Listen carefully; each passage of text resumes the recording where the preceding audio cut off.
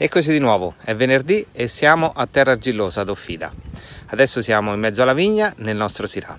Il Syrah è un vitigno molto molto interessante, un vitigno internazionale, ve lo faccio vedere, eh, cresce molto velocemente, cresce prima degli altri, ha queste belle foglie enormi crescerà ancora in lunghezza tantissimo e queste foglie porteranno a una fotosintesi che farà crescere questi grappoli in maniera molto molto armoniosa per avere alla fine un vino decisamente intenso, speziato e con molta classe. Eccolo qui, il Syrah.